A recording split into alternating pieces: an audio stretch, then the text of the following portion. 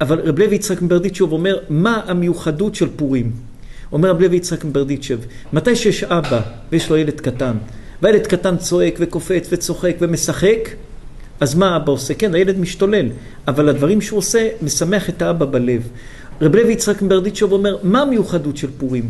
שאנחנו שותים וצוחקים ועושים כך ועושים כך, זה כמו הילד הקטן שמצחיק את אבא שלו, וההתנהלות שאנחנו מתנהלים בפורים, זה משמח את הקדוש ברוך הוא.